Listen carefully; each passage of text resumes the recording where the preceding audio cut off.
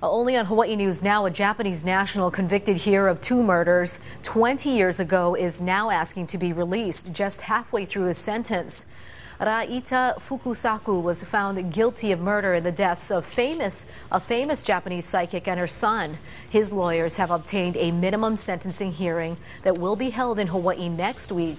Fukusaku was originally sentenced to two back-to-back 20-year sentences for each death, but his lawyer says he served half of that and should be released. At this juncture, we believe that the appropriate sentence would be, uh, his minimum sentence be what he's already accomplished, which is 20 years in prison without any write-ups, and that he'd be considered for parole uh, uh, consideration and allowed to be deported to Japan. A prosecutors say Fukusaku is guilty of a cold-blooded killing and should spend 60 to 80 years behind bars.